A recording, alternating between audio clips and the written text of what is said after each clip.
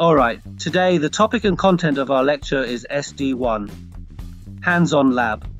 We expect to explain the principles of SD-WAN through a series of experiments and how to apply it in our campus network, within organizational structures like headquarters and branch offices, to how to deploy and optimize.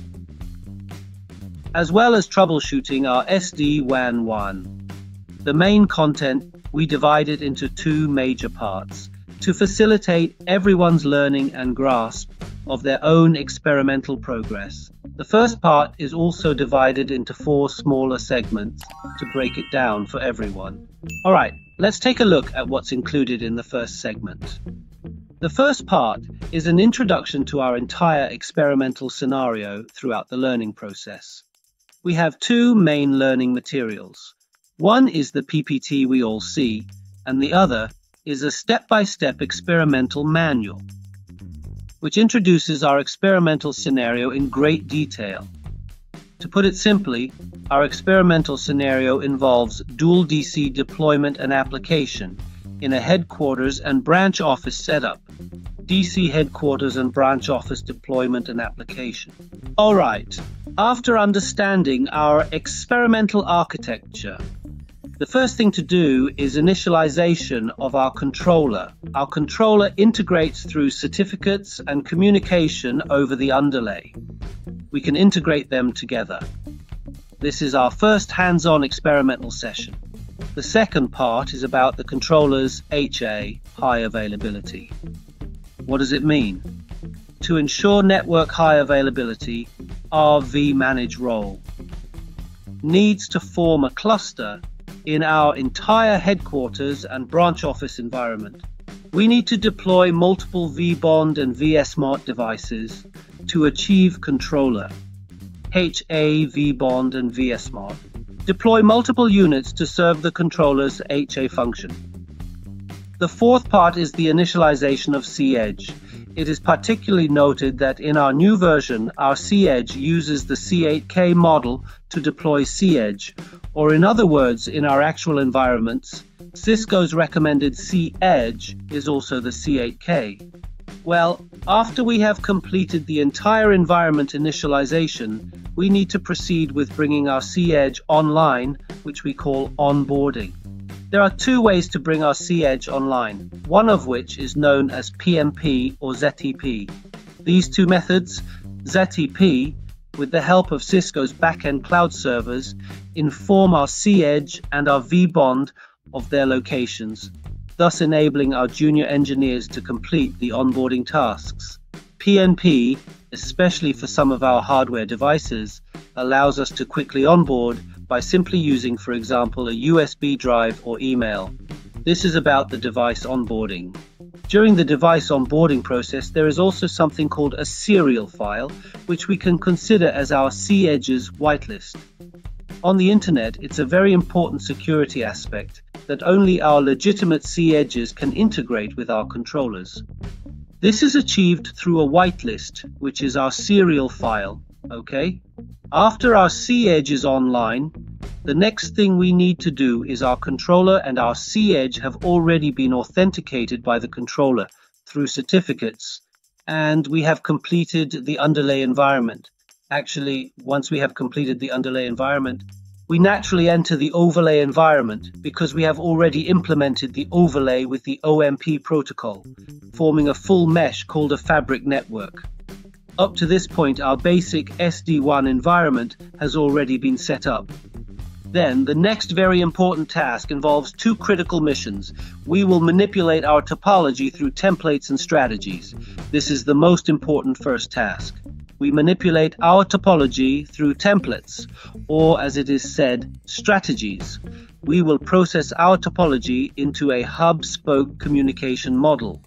We can also run the protocols we need between our headquarters and branches, typical EIGRP and OSPF protocols.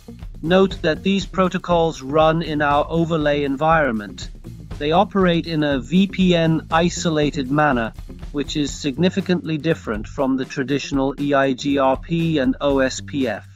In the first part, we arranged a series of so-called security features The first security feature is zone based firewall. We have integrated the traditional zone based firewall into our C-Edge, hoping to implement it in our SD-WAN switch.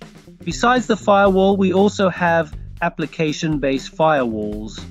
A new feature is service insertion. Service insertion is essentially traffic steering.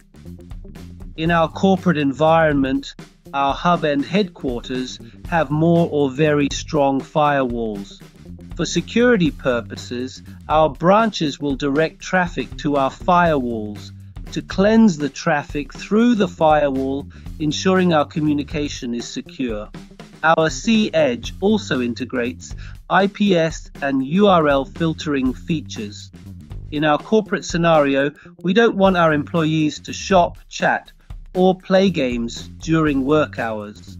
Thus, we can block access to such websites using URL filtering.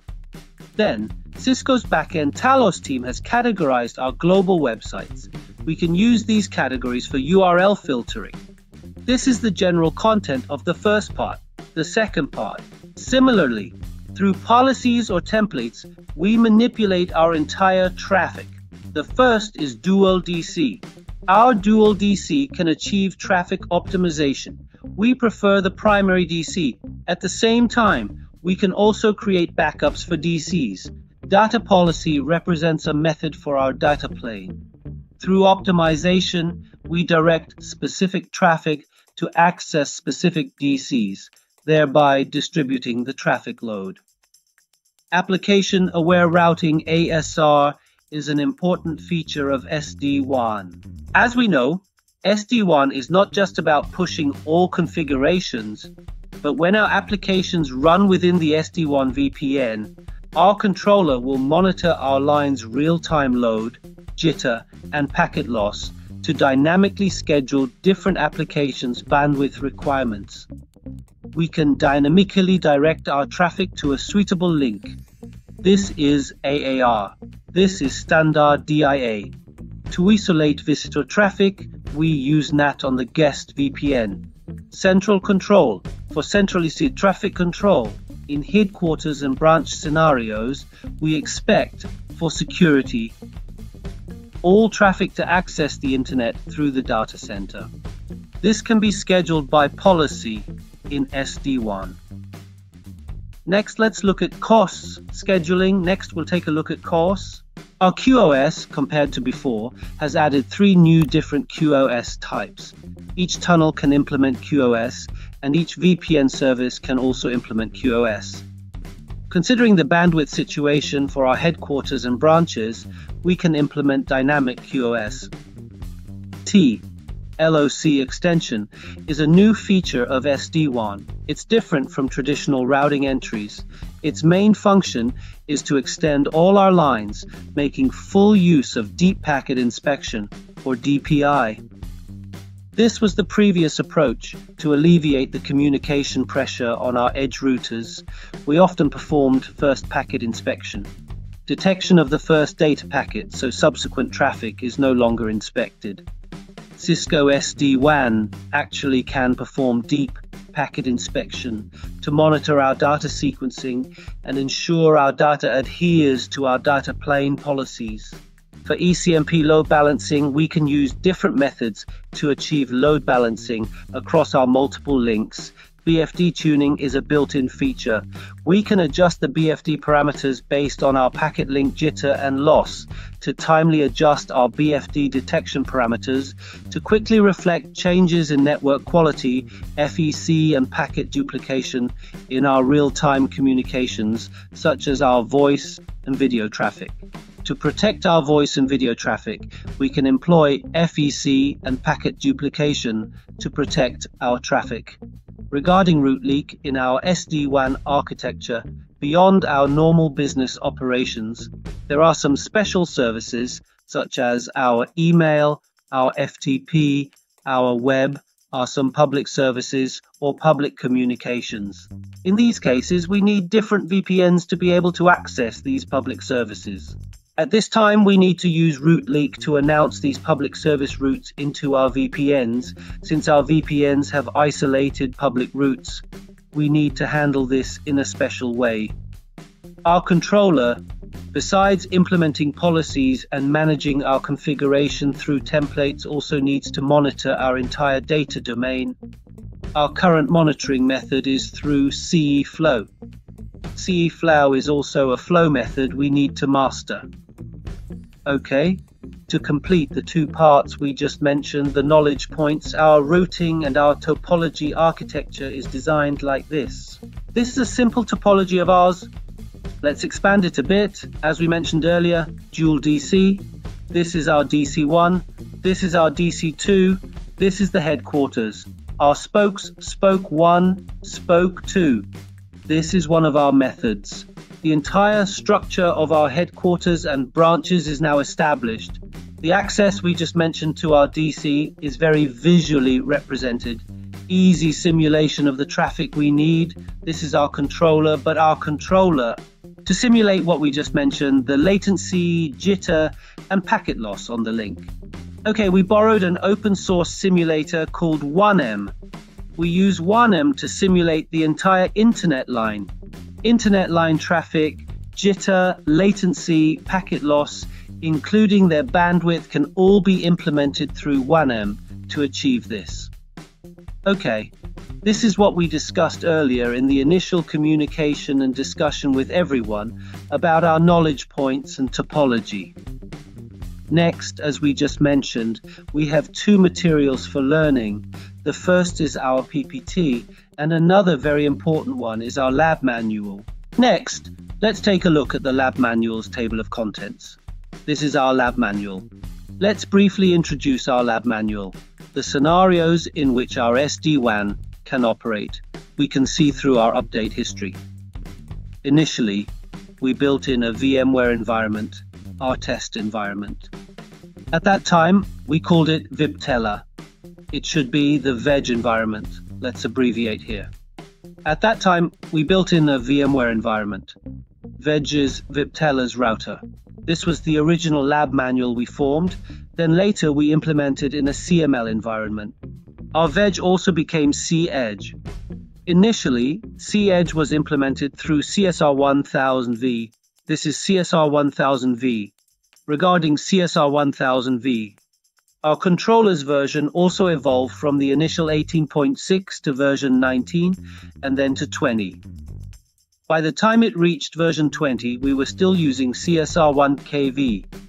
Please pay attention, at this point, Cisco's traditional routers, the ISRs, were fully integrated with our CML platform and interactive. Subsequently, we also tried in an open source version in a platform where it is also possible to implement our SD-WAN environment on the Eve Eng platform. We used QCOW2 files, and Cisco officially provides QCOW2 files as well. We can import QCOW2 files into EVE-NG to implement our SD-WAN environment. With the version updates, our controller, our C-Edge, could also be deployed on the AWS platform, as well as on Microsoft's cloud, including the third-party Alibaba cloud platform. This is what we did on the EVE-NG platform, in this course, we upgraded it to version 21 and then to 11. We returned to the VMIL platform, back to this platform, where we chose Cisco's recommended version 20.9.4. This version, correspondingly, is also C8KV, which we use to implement the entire environment we just mentioned. In the whole environment, we break it down into a total of 16 experiments. In the process of our explanation or implementation, we may add a series of experiments. These 16 experiments were initially implemented in one version. So, I believe in this course, we will also add to our experiment content. Okay, all right. That's all for today's SD-WAN course content and the introduction to our laboratory manual. We will end here.